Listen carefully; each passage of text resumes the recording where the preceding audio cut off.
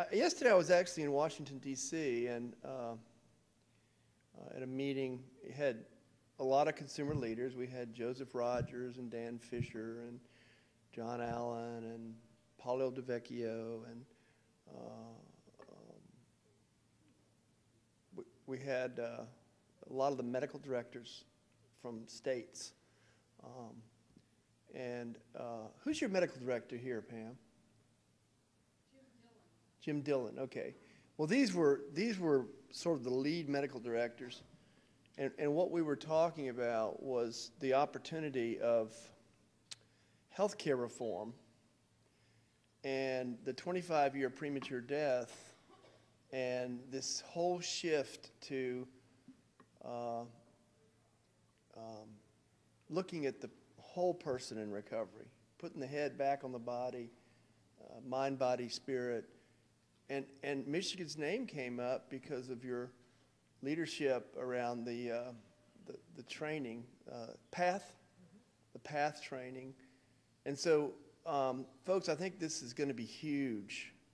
Um, that peers are moving into helping peers choose a health goal and use peer support to be successful in changing their own health behavior. And so I, I just see this as, um, you know, recovery was a huge wave. The concept that we can and do recover.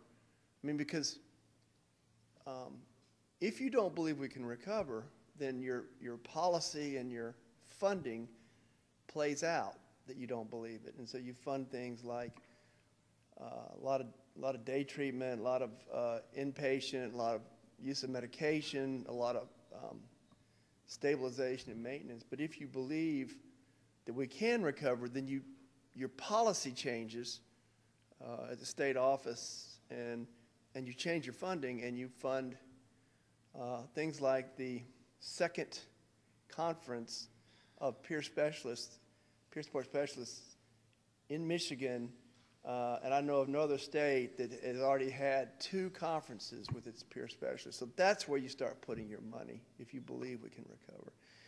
So I, I'm just really glad to tell you that where you're going now with the health is, I mean, you were, you were out in front yesterday in, in Washington, D.C., talking about this. So congratulations on your leadership. Uh, I just continue to marvel at, uh, at the things that you're pioneering